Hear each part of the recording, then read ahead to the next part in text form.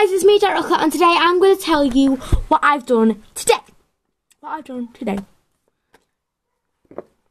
Today, my class went, my year group went to the Baths Hall, and we went to go meet Eoin Colfer, and um, I had never met Eoin Colfer. When he came on the stage, I thought, oh, he looks quite nice, and he was from Ireland.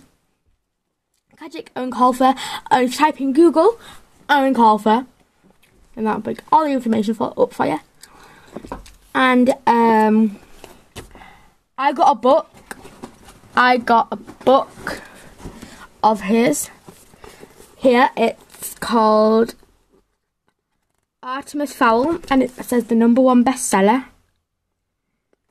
And all the other books. And it actually here it actually says my name says actually actually says to Jack foul wishes signature. Oh my god, it's actually by him, actual author. I didn't think it was a phony. I thought it was actually a phony, like a really good lookalike, but it wasn't. So I was really proud with that. And um, so guys, today's all about Eoin Colfer self.